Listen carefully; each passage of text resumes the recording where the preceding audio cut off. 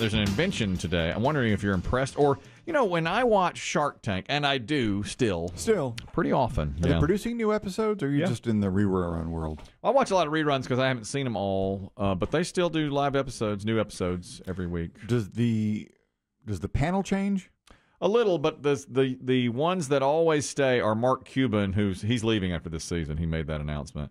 But Mark Cuban is almost always there. There's a guy named Kevin O'Leary who's almost always there.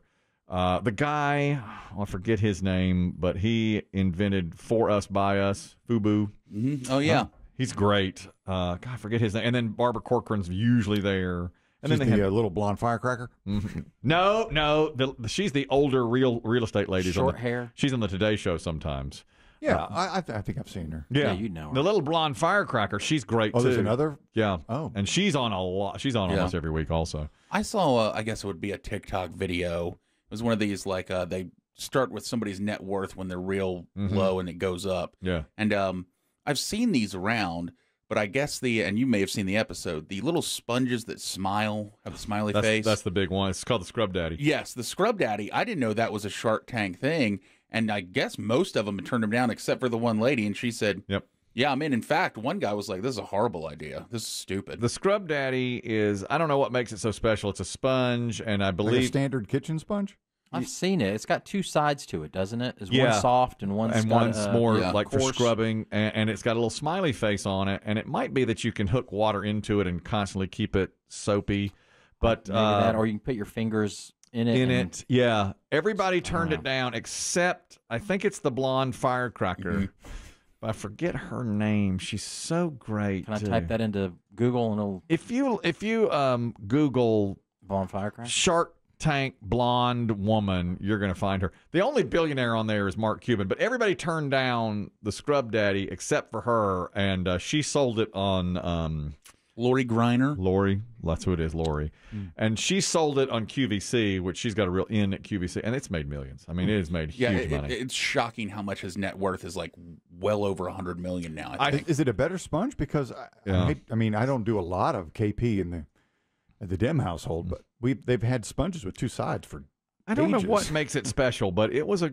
They It's loved got it. the smiley face. It, it's whatever made it special. Hmm. It sold like hotcakes, and now I see it on end caps sometimes in Hmm. Lowe's or Home Depot, and That's the biggest thing to come off that show. it you is. think? It is. Yeah, I think that's the best one that came off of there so Was, far. was the the ring doorbell on there? I want to I thought say that was a, Ring I was- it else was, on but they turned it away. they turned Oh, it down, okay. and it still made money. A lot of guys go on there. And they'll basically just advertise their product, and even if they don't get a deal, their sales go up because it's been on Shark Tank. Exposure. You know, you get a lot of exposure. Uh, Myrtle Beach Doug, you're talking about the Scrub Daddy and what makes it good. Go ahead, sir. Uh, hey guys, Myrtle Beach Doug here, of course. Yes. Uh, yeah, the Scrub Daddy is pretty darn awesome. Um, my folks, uh, my my wife's folks, they do like the vacation club things, Uh-huh. and every resort they have has the Scrub Daddy in it. It's got the soft side, it's got the bristly side, and it does in fact have a little bit of cleaner in it. So I mean, it works great on the pots and pans. I mean, you know, even if you got to clean out your bowl, uh, it'll work on that too. You know, Mhm. it's great, great product. All right. And Yeah. yeah. we did see it on Shark Tank too. So uh, That's uh right. kind of amazing. Yeah. Uh, th- the little bit of cleaner inside it is a big deal, and they the Does it one- run out? Yeah, I mean, think nothing's you, you have to buy a new one. You have to buy new ones. I, you know, I didn't see that particular episode, but they flash back to it a lot. Hmm. And she, Lori, is the one. I think one other was interested but dropped out. It's the guy who started Fubu dropped out, Hmm. and she got it, and it has been huge. It's their biggest deal. That's, Yeah. that's the That is biggest one. Yeah, and and and then another one came along. Thank you, Myrtle Beach Doug. I saw a. a, What do you use to clean out your bowl? Your bowl. I just. I'm not. I don't. There's no. Don't don't answer that. I'm not going to answer Don't. that question. They're setting I'm you not going to answer that question. We know you're off already. Okay, I'm off. There was another sponge that came on there specifically, like you hooked it to the garden hose and cleaned your car mm-hmm. with it. But they compared it to the Scrub Daddy, and they yelled at that guy. They were like, "How dare you come on here and try to copy Scrub Daddy?" But the logo looked very similar. And they said, "You're you're That's not nice. You're infringing on Scrub Daddy." They do that a lot, where they're um, they'll yell at some Judgy? people. Yeah, oh yeah, they'll yell at you. I mean, they call it the Shark Tank because, and I think the people are out there. They show you about ten minutes, but the people are out there like forty five, and they just get nailed. Sometimes, you know, Yeah. you never know how it's going to go. and they have to create that drama, of course. Um, one guy t- sold some uh, make-it-yourself chicken coops one time, and they just bawled him out because one of the, the sharks dropped out. His name was Robert, and he really wanted to deal with Robert, but he had already dropped out. And so later, Kevin had offered a deal, and the guy said, "I'd really love to get Robert back in." And Kevin was like, "Don't you ever insult me like that!" And he just said, "Forget it." You know. Here's the whole reason I brought up Shark Tank. There's a product he's trying to get on Shark Tank. He's made it to the finals to get on three times, but he's never made it on the show. But I'm not sure. A lot of times on that show, they'll say, You've solved a problem that's not really a problem. So we don't need this product is not necessary. And I'm not sure if this is a necessary product. This guy named Chris Randazzo has invented it. He's taken 10 years to do it. In 2014, his wife had been diagnosed with cervical cancer, and she's survived it now. That was uh, 10 years ago. But to get their mind off of it, they went to a movie. And at the movie theater, he wanted to be able to put his arm around his wife to comfort her because she had just had this terrible diagnosis the day before.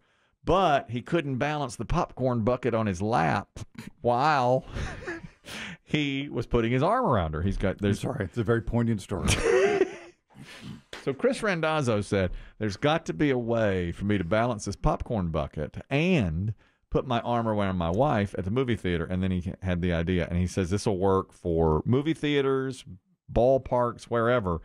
He went home. He sawed a. He t- took a cup and cut it in half, like a styrofoam cup. Stuck it on the bottom of a popcorn bucket, and now it fits into the cup holder. So the mm. cup holder holds your popcorn bucket.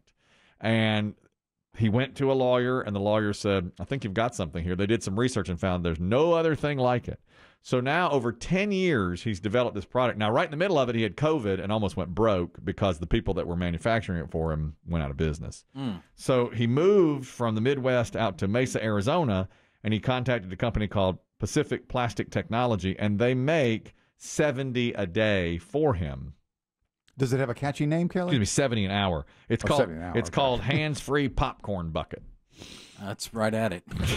Yeah, I don't know if it's catchy enough to kind of really it, grab. it says everything. If you go to handsfreepopcornbucket.com, you can see it. But now it's an all plastic thing, and he is in negotiation with AMC Theater. There you go. And Regal Theater to try to provide these popcorn buckets. But so far, he hasn't gotten anywhere with them. You know, now, I mean, a lot of the theaters, they they, they have those reclining chairs, and the, the the cup holders are enormous. Yes. They're, Yes. they're very. They're, it's not like your standard Cup. single arm Mm-hmm. cup holder anymore. It's because they're monster cups you get there when you buy a drink. Yeah, I'm looking at this thing, and this is a monster bucket. It is. Okay. And Yeah. it's got a, but it fits you into. put a tapered bottom. Yeah. Yes, it's a very small bottom, but you still get a big bucket of popcorn. Right. So, but it looks. I mean, It's like the Stanley, Stanley Cup. tumbler. That's Yeah, exactly yeah. like the Stanley tumbler. holds a lot, but small bottom. Correct. I like big bottoms. Well, you cannot lie. So my question is: Is it really an issue? I mean, do we really uh, are people clamoring for a popcorn bucket that fits into a cup holder? And I just don't know that that's the I'll case. tell you, I I think it'd be something that people would buy because it's there. Mm-hmm. I wouldn't make it plastic. No. I'd make it paper.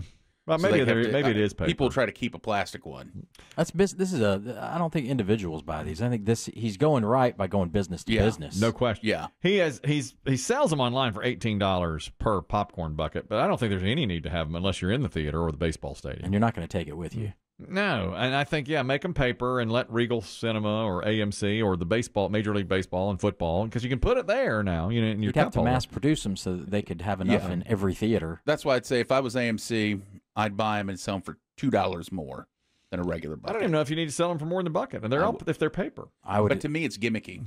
That's why I'd sell it for But more. I but I'm saying there's no need to even. I mean, that just becomes the popcorn bucket. yeah, that you have to make it. People aren't going to pay extra for right. it in it the just, theater. That's They've already the popcorn been. bucket. Now it fits in your cup holder. That's you right. Yeah, You can quietly take it up a dollar if your, you your popcorn to. price. Yeah, if you wanted to. My only thing would be how stable is it? Mm-hmm. He says he's got it worked to where it's real stable. That's Chris Randazzo, mm-hmm. and it took him ten years to get it just right. But here, my thing is, I don't think it's a problem. I don't think people mind No. holding the popcorn, you know, or putting it no, between. you're the not in there for more than three hours. Yeah, and remember, Heidi Klum told us. But you do have to hold it. You do. you do. I mean, and other otherwise, then you're putting it on the floor when you're done or whatever. Yeah. yeah. So, but so, do you think that it is then? A, a I'm not. need? I'm not gonna. I'm not gonna close the door like all the other sharks. I wouldn't close the door. Would you give it a deal? Would you, if you were on Shark Tank, would you invest in this company because that's what he's going to want. I'd like I'd like to hear more feedback from our friends in the uh, the movie business. Mhm, The yeah. pic- in the pictures. Yeah. So, but what what will happen is if he were to ever make it on Shark Tank, Mark Cuban would say, "I have connection to AMC Theater. I'm going to invest with Yeah. you," and then he, they'll listen to him Do you think popcorn is still the number one snack at a theater. at a theater? You know, a multiplex. I think so. Do you? Yeah, I think so. Over candy, I think candy. I think it's secondary. Yeah. I always buy candy. Yeah. I always go no, plain. well, you're sweet tooth. a Yeah, plain- I mean, yeah. I, I've I've eaten my share of popcorn, but it's as you know, it's not my favorite your favorite. vegetable. I'm plain M and M. Yeah. What this what this popcorn bucket has to do is take over wherever they get their popcorn buckets from now. Right. These theaters. Right. He's got to take that over and say, I don't know. It's a better popcorn. let's say it's bucket. Dixie Cup that makes Yeah. the, the buckets. Yeah. You got to you got to put them out of business. and get You're going and to put you- Dixie Cup out of business? Well, at least the popcorn division. or get into. You just got to get in those theaters. But a shark would help him. Now that would Yeah, really but you can't have competing buckets. No, It's got to be the the bucket. bucket. Justin, you're talking about popcorn buckets. Go ahead. Yeah, I was going to say, how annoying would it be if you're in like a huge opening, like for the Avengers or something, and the theater's packed, and you got the person next to you with the big bucket in the cup holder, and they're just constantly reaching over back and forth. That's the thing too. I mean, plus you want it for your drink. You know, you're going to have a drink also, uh, Mm-hmm. and you, I mean, you do have two cup holders, but you share that aisle is shared. So would you rather hold your drink or your popcorn? You know, that's sort of the choice you, have to the, make. You hold the snack right. because it's more passable too. Right. Chances are. There's no there's not two on each side, but and I know it goes to the other person, but there's one on the aisle. Mm-hmm. I So guess. the person on the aisle gets two, yeah. right? I- I guess. Yeah, but most of the theaters now they have the, the you have your own recliner. I know. yeah, that's right. But do And you it- share an armrest with somebody next to you? Uh-uh. It's yours only. Yeah, they're they're five feet away from. And you you. have two cup holders because you'd have one You on each plenty arm. space. Yeah, you well, would. We have a big fat one on one side. okay. I think there's room for this. Robert, you're talking about the popcorn bucket. Go ahead. Yeah, I found one way to poke a hole in the the inventor situation. Uh, all she has to do is hold the popcorn bucket, then uh, then problem solved. He could have put his arm around her had she been holding the popcorn bucket, but Mm. she was he was trying to You comfort poked her. a hole in the bucket.